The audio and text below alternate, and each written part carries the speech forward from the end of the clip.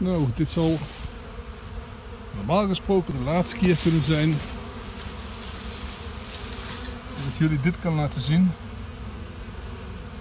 Het is een graadje of 20. De bijen benutten hun kans.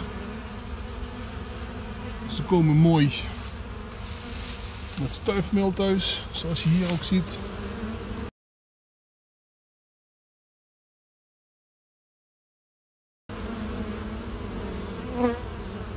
En wat ik heel hard ga missen, is het gezoem. Echt heerlijk in gezoem. Dat miste ik de laatste dagen al. Ik mis het werken met bijen in de winter heel erg. Ik kan ook eens in doen. Maar dat is toch, ja, die kasten gaan dicht en je ziet ze maanden achter elkaar niet meer. De roostertjes die hier erin zitten, zijn roostertjes die kosten geen donder. En die hebben vorig jaar eigenlijk bij mijn hele bijenpopulatie gekost. Omdat ik ze niet kon vinden. Toen heb ik de poetsdoeken in gedaan en dat was achteraf geen goed idee. Want de muizen komen, halen de poetsdoeken eruit. En gebruiken die poetsdoeken weer om een nestje te maken. Ondertussen eten ze alle bijen op. En door de kou kunnen de bijen zich daar niet verdedigen.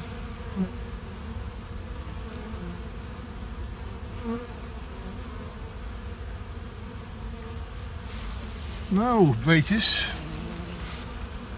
Zoals bij Games of Thrones zeggen, winter is coming. Zo, het was echt veel stijfmeel nog.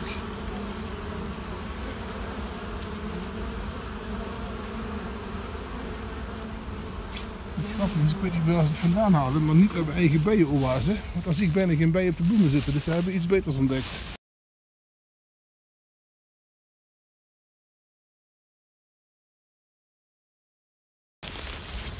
Hier zie je nog een enkele wesp die erin kruipt.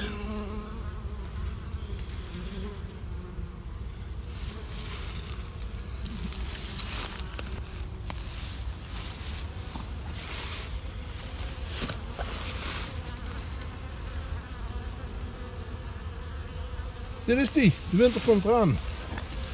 Mooi bijenseizoen.